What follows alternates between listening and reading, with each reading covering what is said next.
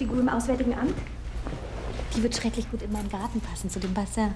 Bitte schön, kauf sie mir doch, wenn alles gut geht und wir noch aus Berlin rauskommen. Aber Jobberl, ich weiß doch gar nicht, wem sie gehört. Wahrscheinlich ist sie Staatseigentum, dann kann ich sie nicht in deinen Privatgarten stellen. Ach, wenn es dir gelingt, die Russen zurückzuschlagen und Berlin zu befreien, dann kannst du schon mal eine Ausnahme machen. Die Logik der Frau. Schau, du bist ganz schmutzig. Den Rock kannst du aber nicht mehr anziehen. Du musst dem alten Fritz nicht alles nachmachen und auch so unappetitlich rumlaufen wie er. Das ist schließlich mein Arbeitsanzug. Ich kann mir doch nicht eine Schürze umbinden, wenn ich zur Lagerbesprechung gehe und mit Farbstiften hantieren muss. che nell'apparato economico del mondo contemporaneo c'è qualche cosa che si è incagliato e forse spezzato?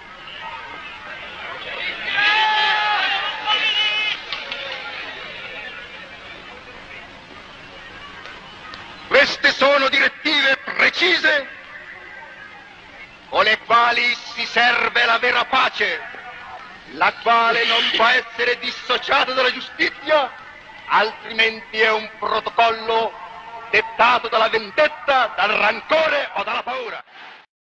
Nimmst zur Not aus den abgestellten Fahrzeugen, die braucht eh keiner mehr. Was soll das heißen? Sie können Fegelein nicht finden. Wir können den Gruppenführer Fegelein nirgendwo finden.